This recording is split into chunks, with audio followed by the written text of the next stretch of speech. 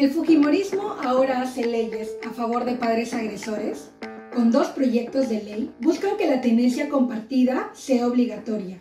Es decir, si te separaste de tu pareja por agresión, tu hijo o hija tendría que compartir obligatoriamente tiempo con esa persona agresora y tú seguirías amarrada a él. El impulsor de una de las propuestas es el fujimorista Alejandro Aguinaga, quien, por si no lo recuerdas, está denunciado por el caso esterilizaciones forzadas. Pero esta idea no se le ocurrió de la nada al congresista. Él recibió ayuda de la asociación Tenencia Compartida, que es presidida por Alex Jaramillo, un personaje que tiene denuncias por los delitos de lesiones contra la vida, el cuerpo y la salud, y otra por agresiones en contra de las mujeres o integrantes del grupo familiar. Además, irónicamente, los integrantes de esta asociación, en su mayoría hombres, niegan la violencia de género.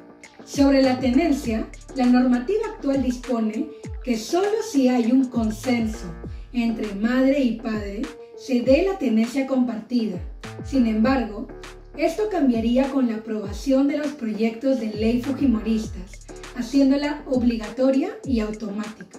Ah, y ambos proyectos de ley citan en sus argumentos un término acuñado por un entusiasta de la pedofilia. Se trata del supuesto síndrome de alienación parental, antes conocido como síndrome de la madre maliciosa, que no está reconocido por ninguna institución médica y ha sido rechazada hasta por la Organización Mundial de la Salud.